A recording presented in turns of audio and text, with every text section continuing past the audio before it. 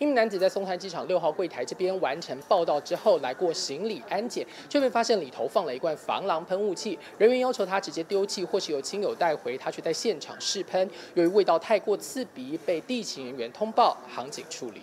这名六十五岁的黄姓男子取出防狼喷雾后，说是好多年前买来防身，看了看就到柱子旁按了几下测试，把喷雾交给地勤丢弃后就去登机，但刺鼻气味开始飘散，喘不过气就咳嗽啊。就哎呀，很不舒服，好冷啊，很呛，很渴，一直咳，一直咳不停。哎，我们就听说啊，有人喷什么辣椒水啊什么的，我们就赶快跑到的那个美食街二楼去。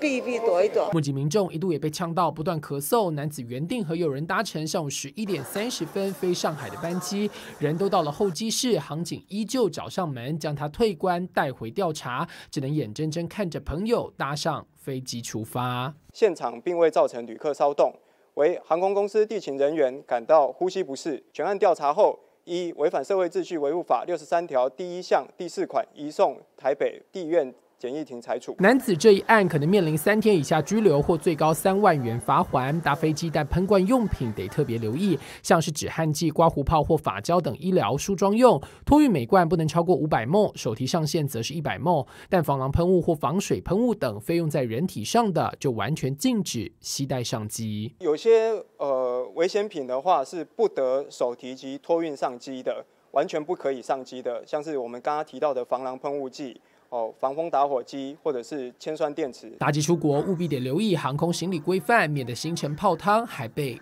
依法送办。民事新闻王福台就好，台北报道。